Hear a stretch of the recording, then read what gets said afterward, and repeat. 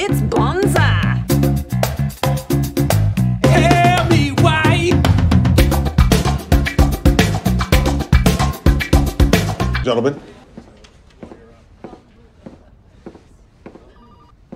Fine, I was trying something and it didn't work.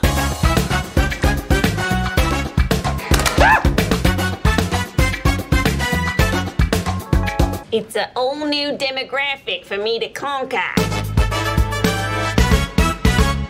Lace up your dancing shoes because it's time to catch this disco bastard. Brooklyn, Brooklyn.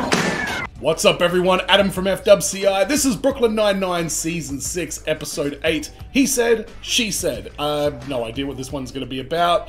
I mean, Brooklyn, the, the titles never really tell me much, uh, unless there's something about bandits in there, in which case I'm all over it. But I am excited about watching the rest of this season. It, has been really strong so far, and should we, we're kind of due for a Halloween episode, aren't we? I feel like they usually come in around the beginning of the season, so I'm kind of holding my breath for that one there. But if you want early access to this, go to patreon.com slash FWCI. That's where you can get it for $5 dues. To all my Patreon people, Hello, how are you going? You know what I'm talking about. $5 dues a month is all it costs to get early access to Brooklyn and movies and a whole bunch of other stuff. So that's where you can support the channel. Make sure you subscribe here on YouTube as well. But let's jump into the episode. For the love of God, this is season 6, episode 8. He said, she said. Methodist Hospital called this morning. Apparently, a 38 year old investment banker was admitted last night with a broken penis. It looked. the broken dong. Uh, methinks some Wolf of Wall Street style shenanigans have taken place this day. Was he struck by a goose? He was actually struck by a female co-worker who claims he attempted to sexually assault her. Oh, Jesus Christ. In fact, you know what? This isn't your week. Why don't you take a few days off? Sweet. Have fun working, cucks. oh, God. Santiago and Peralta, talk to both parties. Get to the bottom of this. Okay, they're going to team up on a case? Interesting. As a society can no longer laugh at the phrase broken penis, and it is my dream that we one day shall again.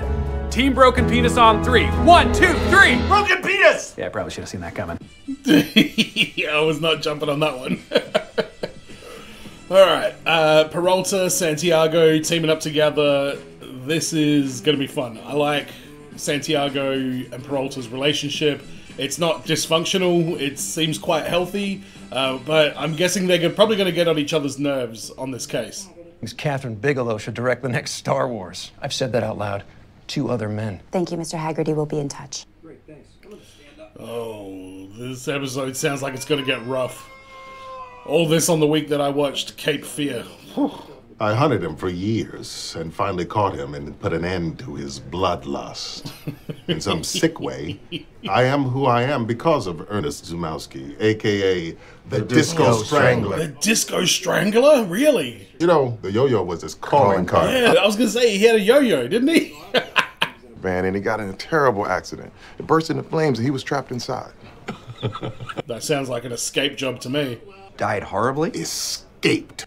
Yeah. All right, lace up your dancing shoes because it's time to catch this disco bastard. Holt versus the Disco Strangler Part 2? I'm here for this. Arbitrage, and ever since we've been at a steady 18% yield. I didn't know most of those words, but I'm assuming it means you're good at business. I am good. I agree with you completely, Peralta. It's my dream to have a gold coin pool. Like Scrooge McD, continue. Look, I love my Scrooge McD. Oh, DuckTales is pretty good, though.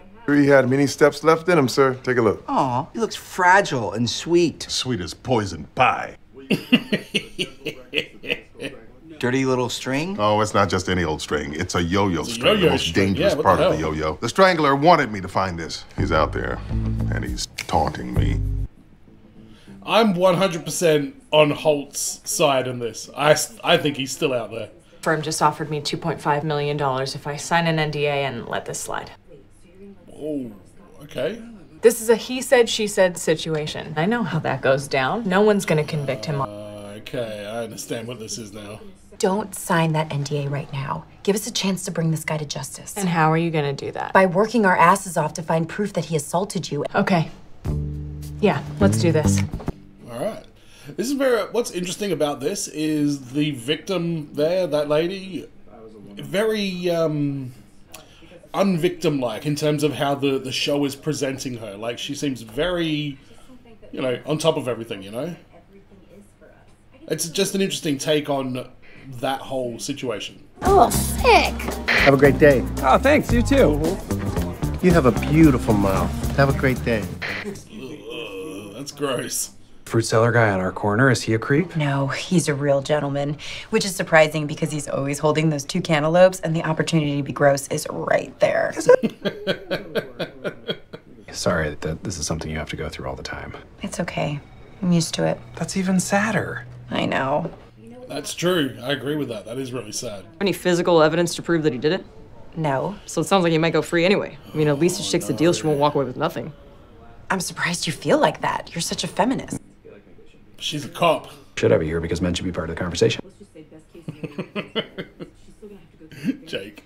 Trial where they drag her name through the mud. Even if she wins, she still loses. It's two steps forward, one step back. Yeah, but when one person comes forward, it inspires others to speak up. And that's a hell of a lot better than taking a deal that lets sexual this is a predators. Really, um, this is a very, very um, real argument and two very valid, you know, points of view here. This is this is deep. This is that um, other sides of Brooklyn that people were saying was a little bit more prominent in the later seasons. I'm guessing that's what we've got in this one here. The state police is deploying 30 men and four helicopters to comb the area of the accident. I felt comfortable saying.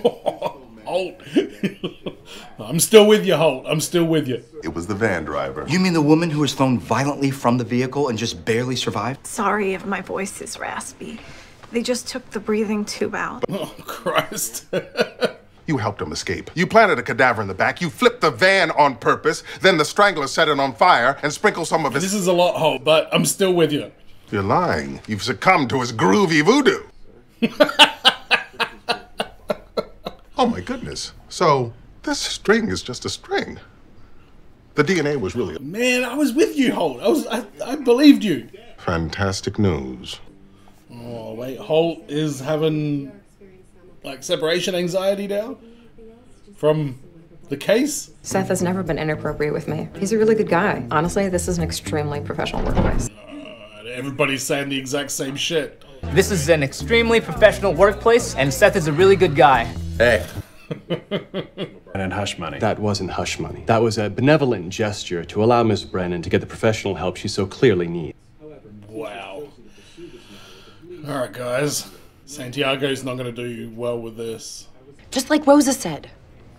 Yeah, you, it's a fine line to advise somebody not to take a deal like that. This isn't just a case for me.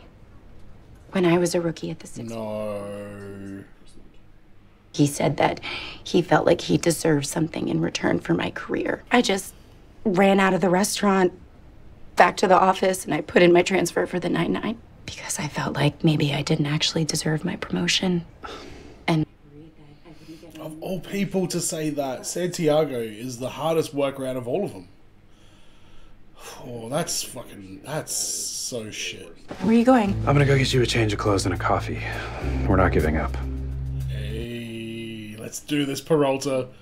What if we reach out to all the coworkers again privately? Maybe they didn't talk to us because we interviewed them in their office. I think that's a great idea. Yeah, I think that's a really good idea. I'm gonna grab a comb, but you don't have to use it unless you decide. Good point, Peralta. My only nemesis now, Father Time. Sorry, that's ridiculous. You're gonna fight Father Time now, Holt? It's an aerial photograph from one of the helicopters I had deployed. Take a gander, boys. It's him, the Disco Strangler. Oh, it's yes. I knew all along. I know him better than anyone. Yeah, you do, Holt. You're fucking right. I don't remember a Steve. Who's Steve? I am. Beefy. Beefer. I wanted to show you this text chain between Seth and some of the guys in the office. Oh, Beefer is making a play to move up. Beefer is a secret feminist. No, gross. I mean, it was the right thing to do for me. If they fire Seth, I take his job. Okay, well, we got what we need. Yeah, they're not surprised. Five foot eight, hunched over, 93 pounds, with gray hair and blue gray skin. Blue gray skin. Manpower to take down one sweet looking old man. Oh, he's sweet, all right. Sweet as poison pie. Yeah. Yeah. and for God's sake, protect the neck. Are they forcing you out because that's illegal? No, they're not. But the whole atmosphere here has changed. Everybody looks at me like I'm either a victim or a traitor. I mean, I'm not even. Yeah, yeah, that's true. I can understand that. And I'm really proud of myself that I didn't let him get away with that. So, even though it sucks, if I had to do it all again, I would. Especially the broken penis. Why'd she say that to me? Oh my god, there he is. What? Neither have you, Ernest. What? she couldn't resist my groovy voodoo. I'm never gonna die. Sure you won't. Whatever makes you feel better. Ah, that sucks. What an anticlimactic end for Holt there. Victim shaming that suppresses any power shift in our masculophallic system. I couldn't sleep last night, so I watched a documentary on Netflix about feminism. I love you. Carrie's coworker. She came forward to report an assault because she was inspired by Carrie. Was this an assault from Beefer? You want to take her statement together? You know it, sister. yeah, don't do that. We can be different and still have the same cause.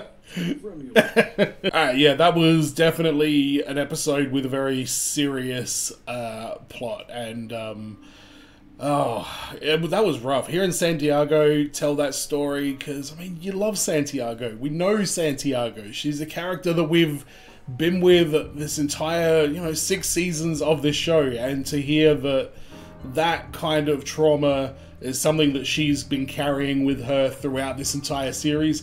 It's heartbreaking, and I, I know that these stories are legitimate, and there's these weird power struggle situations and just like people abusing their position and stuff like that. It's a really, really fucked up situation, and you know, it's I, I don't know how the world gets better from this. I don't know how you convince um, like an entire population of people to smarten the fuck up. I mean, in Australia, we just had a um, referendum for uh, uh, Indigenous people to be recognised as uh, it's hard to explain, but basically, there's an advisory board for stuff that relates to Indigenous, Aboriginal, and Torres Strait Islander people uh, in Australia in matters that affect them and um, it didn't get passed. It, it got voted no, and that uh, it kind of sucks at the moment, like living in that energy. So I don't know. I'm I'm kind of in the right sort of headspace for this episode, to be completely honest, because it really is a, a, a day of a, a lot of. Um, you know, helplessness, I guess, in terms of, you know, that that subject anyway with Indigenous Australians. So, and, and it's a huge deal at the moment. Captain Holt's story about the Disco Strangler, on the other hand, that was a great way to balance this episode from the heavy to something way more hilarious. And it was still kind of serious. I guess Captain Holt had a bit of a, um, you know, learning moment in this episode when he finally got the bust and it just wasn't what he was wanting it to be. But seeing him get to relive his glory days was fantastic. Boyle and Terry being along for the ride was a lot of fun. Rosa only popped in a little bit here, uh, but she was a great moral compass for Amy um, during the times of need throughout this uh, episode. Hitchcock getting um, thrown out at the beginning of the episode. Yeah, I understand why that happened because that character is very much not appropriate for this episode at all. I, I think that character is way too gross at times, and uh, I'm glad to see that the writers are aware of that when they're going to do an episode about a serious subject like this. But very interesting episode. Let me know in the comments what you thought about this one. I hope the comments don't get ugly, but you know, keep it civil. Agree to disagree if that's what it comes down to, and uh, you know, just be good to each other. As Bill and Ted said, be excellent to each other. That's that's the the mantra that we should all have when talking about this episode down in the comments. Uh, Patreon.com slash FWCI if you want early access to this one. Don't forget to subscribe here on YouTube as well. I've got so much big plans coming for the end of this year and the beginning of next year. You, if you're not subscribed, make sure you do because uh, there's a lot happening on this channel moving forward, and we're just going to keep smashing through Brooklyn, Taskmaster, Taskmaster because I'm watching the UK and the US uh, and the Australian version. Uh, a whole bunch of other stuff. Schitt's Creek is coming back very soon as well. Uh, there's so much on on the table. It's going to be a lot of fun. And as always, everyone, be well, stay safe, look after your friends. See you in the next video. Peace.